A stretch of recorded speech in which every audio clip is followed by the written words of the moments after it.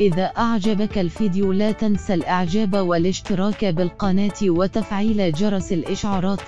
ليصلك كل جديد